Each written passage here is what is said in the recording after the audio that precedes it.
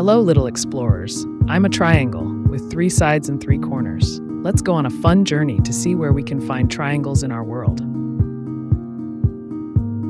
Here's a tasty pizza slice, a sweet watermelon slice, a cautionary road sign, and a billowing sail on a boat. All of these are triangles. Can you spot any other triangles near you? Nature is full of triangles too. Look at the mountain peak, the pine tree, the shark fin in the ocean, and the sharp beak of a bird. Triangles are everywhere in nature, helping things be strong and beautiful. Did you know that triangles are important in buildings and bridges? They make structures like the ancient pyramids, our cozy home roofs, and the strong bridges we cross. We've seen so many triangles on our adventure. They are one of the strongest shapes and are used in so many ways. Now, can you find more triangles around your home? Remember, every triangle has a story.